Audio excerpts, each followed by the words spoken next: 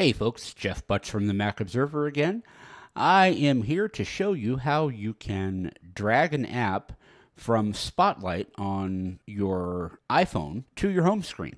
This is a great way to either move an app from one place to another, or if it's in your app library and not on your home screen, you can quickly and easily put it on your home screen.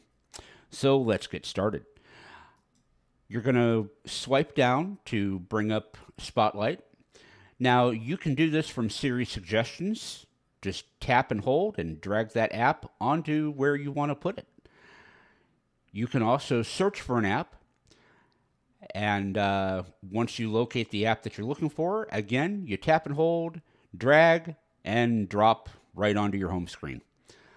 Quick and easy, and uh, a great way to move your apps around or put them back on the home screen after you've removed them. Hope this helps you out and uh, have a great day.